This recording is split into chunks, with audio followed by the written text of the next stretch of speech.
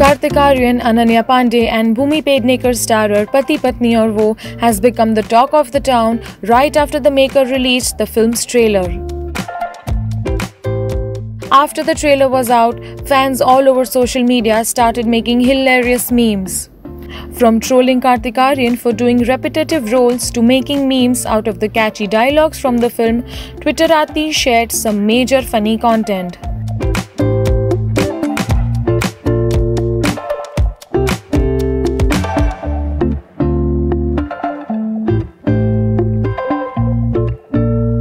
A section of netizens also called out the trailer for cracking a rape joke.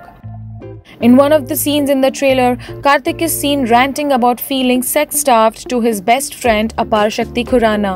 He criticizes that a husband, by asking for sex, becomes a beggar, and if a husband tricks his wife into sex, then he's a rapist.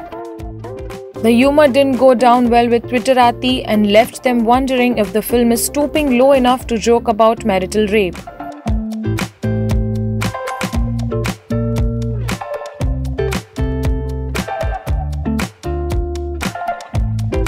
The controversy surrounding the film is not fresh and has been addressed earlier as well. Fans had criticized the film's concept as being sexist in the past.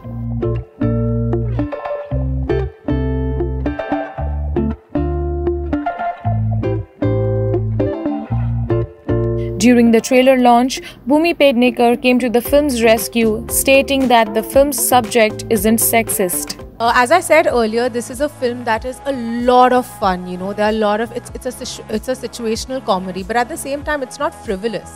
I said this earlier as well. It's very empowering to both the genders. There's nobody who's black or white in life as well.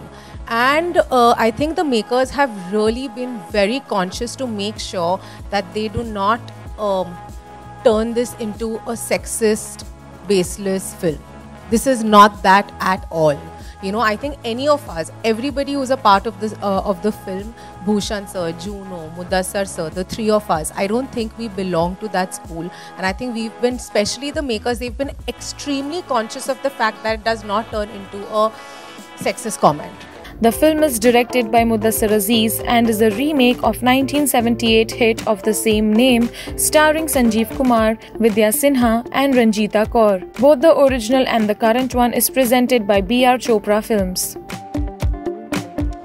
While Kartik Aaryan plays a common man Tintuji, Bhumi plays Kartik's wife Vedika, and Ananya is taking up the character of the glamorous other woman Tapasya Ji in the upcoming movie.